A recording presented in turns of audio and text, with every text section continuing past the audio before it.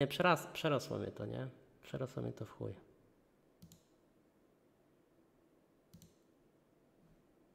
i zaraz dowiecie się nowych faktów, ponieważ to, co do tej pory myśleliście, że jest mocne, to Wam tylko powiem, że jest to wierzchołek góry lodowej, ale zanim to powiem, to e, wrócę na chwilę do Pana Michała.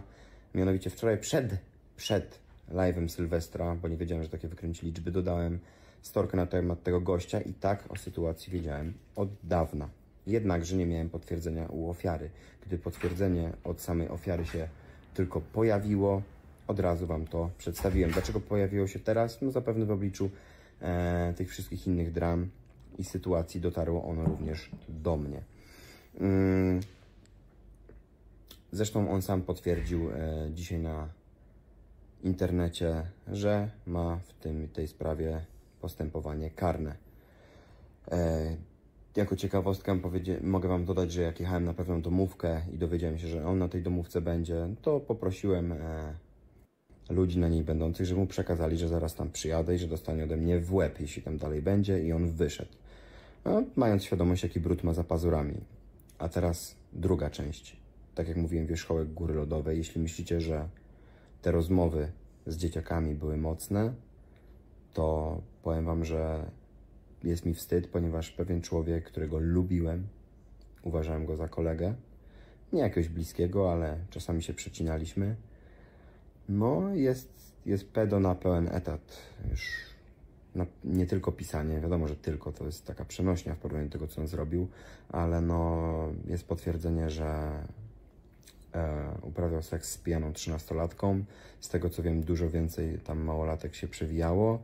Dowody będę miał jutro lu, e, lub dzisiaj, ale jego dane podam dopiero jak prześledzę wszystkie dowody i będę miał pewność, żeby nikogo nie skrzywdzić.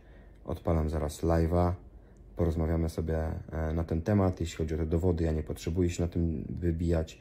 E, mogę przekazać je do kanału w komentarzy typu Sylwester czy Konopski, wystarczy, się do mnie odezwą. Nie są to żarty. E, I to, co mówię, też przedstawię oczywiście na to wszystko dowody, żeby to nie były tylko pitu-pitu. Do zobaczenia na live. By tylko nikt nie mówił mi na przykład, że ja powinienem zostać pociągnięty do odpowiedzialności w sprawie tego gwałtu, skoro wiedziałem, a nie powiedziałem, bo ja to wiedziałem tylko i wyłącznie od świadków. E, więc nic bym do tej sprawy nie wniósł, bo to świadkowie zeznają. Rozumiecie? Wiedziałem to od świadków. Więc to jest tak, jakbyście przeczytali zeznania świadka. No to jak ty pójdziesz i powiesz, aj, przeczytałem zeznania świadka, to nic to nie wniesie do sprawy, prawda? E, no ale teraz pojawiło się potwierdzenie u samej ofiary, dlatego też wypowiedziałem się publicznie. E, pytacie, gdzie będzie live? Zrobię krótkiego live'a na TikToku, a później odpalę się na Twitchu. Już nie z żadnej gierki. E, normalnie sobie z wami porozmawiam.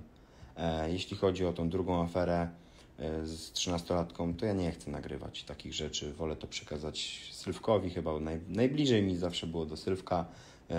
Konopa na dzień dzisiejszy szanuję, ale nie znam go aż na tyle. Beczki, kanał Mateusz Ferrari. E, na... Hmm.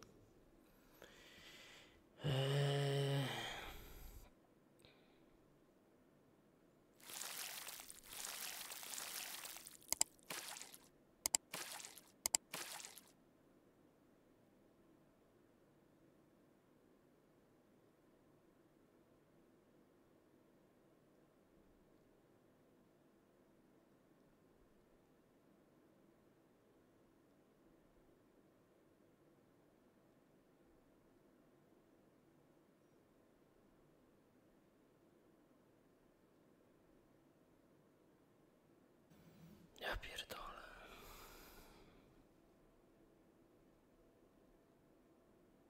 Dobra, jakby już jest luz. Eee, ale przez chwilę dostałem bardzo niepokojącą informację, ale już jest podobno luz. Ale i tak zakończę live'a.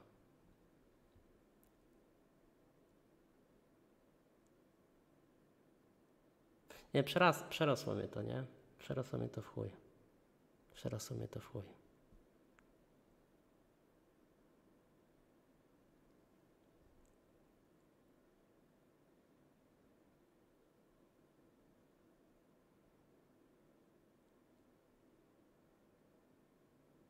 No,